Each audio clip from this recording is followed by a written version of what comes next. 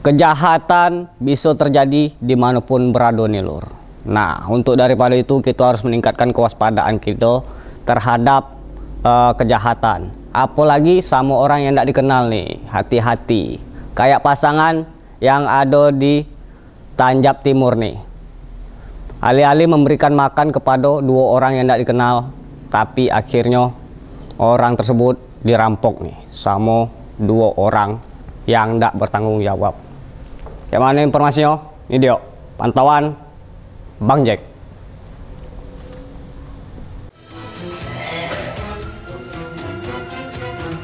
Sepasang suami istri lanjut usia warga RT 17 Parit Baru, Kelurahan Singkep, Kecamatan Muara Sabak Barat, Kabupaten Tanjung Jabung Timur, kritis setelah menjadi korban perampokan pada Senin malam 24 Oktober 2022. Korban mengalami luka serius di bagian kepala akibat hantaman benda tumpul yang diduga digunakan pelaku untuk melumpuhkan korban. Selain itu, sejumlah perhiasan korban sebanyak 67 gram berhasil digasak oleh perampok. Modus dari pelaku perampokan yang diduga berjumlah dua orang itu dengan berpura-pura selesai memancing dan kemudian menumpang istirahat di rumah korban. Pelaku pun sempat diberi makan oleh korban, namun setelah korban lengah, pelaku langsung melancarkan aksinya dengan menganiaya korban hingga kritis. Ya, nah, dapat telepon dari keluarga kalau ada kejadian gini baru kami menyusul ke sana. Nah, ternyata sampai di sana kedua orang tua saya ini udah itu terluka semua kan. Nah, tidak lama dapat ada kabar dari warga kalau dia dirampok gitu.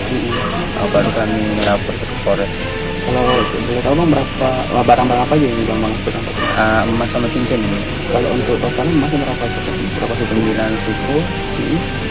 Uh, puluhan lah, kita sepuluh sutrahat ya. ya. Kalau yang kabarnya di jamu makan itu ya? Benar, di jamu jamu makan, tadi kasih makan baru di orang tua ini dirampok di saat itu. Gitu. Kabarnya pelaku ini awalnya itu mancing ya bang di situ bang? Ya, benar.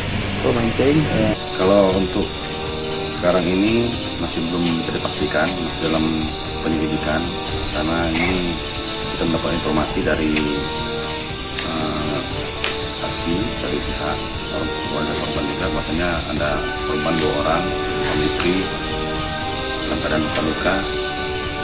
Uh, kejadian di Kelurahan Kampung Bukit 17 yang mana motif atau uh, masih belum bisa dipastikan karena korban masih dalam perawatan Nah, saat ini korban masih belum bisa diajak bicara atau diinterogasi.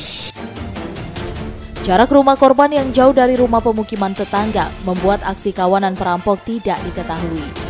Korban sempat berjalan sepanjang 500 meter dengan saling menggotong satu sama lain untuk menyelamatkan diri sambil berteriak meminta pertolongan kepada warga. Kasus pencurian ini ditangani Polres Tanjung Jabung Timur dan Satreskrim Polres Tanjung Jabung Timur telah memeriksa keterangan dari saksi-saksi untuk mengungkap pelaku dari perampokan tersebut.